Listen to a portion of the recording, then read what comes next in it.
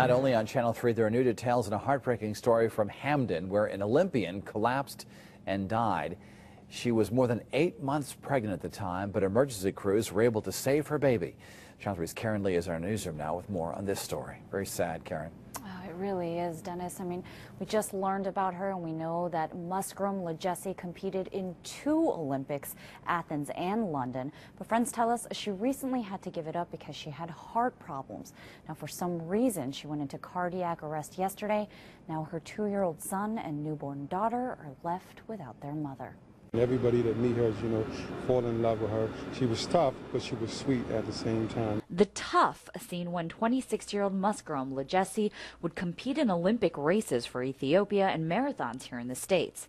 The sweet scene when she was with her two-year-old son. Friends say Legesse was just three weeks away from giving birth to a daughter.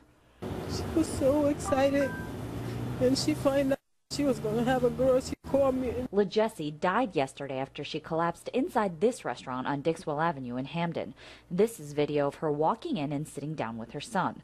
She passed out on the ground about 10 seconds later. Emergency crews got here within minutes and performed CPR all the way until she got to the hospital. Legesse didn't make it, but they were able to save her daughter. Fatima Sene says they were supposed to see each other yesterday.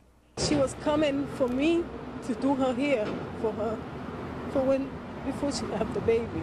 Friends say doctors were wary of Legesse having a second child because of her heart issues. They say she was so careful during the pregnancy, only drinking water and watching what she ate. She took her chance with her life to have these kids.